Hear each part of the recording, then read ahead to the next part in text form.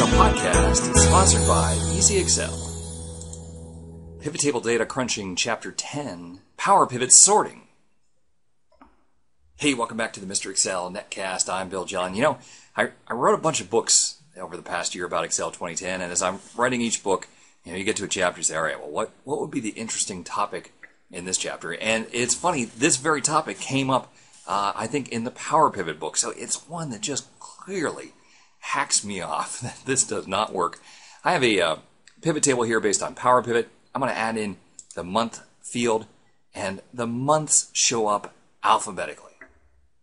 Every pivot table that you or I have created based on Excel data for the last 15 years, those months will respect the custom list. But for whatever reason, the Power Pivot people didn't do this, and it takes eight clicks to fix it. I hate these eight clicks.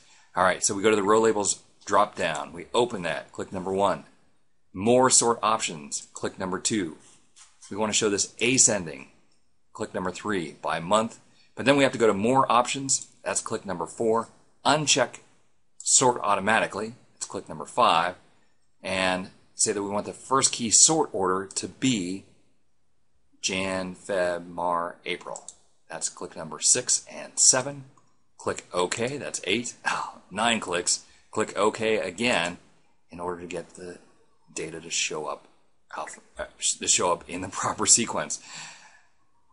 I'm not quite sure why every pivot table has been able to do this, but for some reason the Power Pivot people didn't bother to hook it up. Maybe it's because the data is OLAP. I don't know. I'm sure there was a really good reason for it, but it's uh, those those nine clicks are just nine clicks that drive me crazy. So there you have it how to uh, get your days of the week or months of the year to sort into the proper sequence. Okay, I want to thank you for stopping by. We'll see you next time for another netcast from Mr. Excel.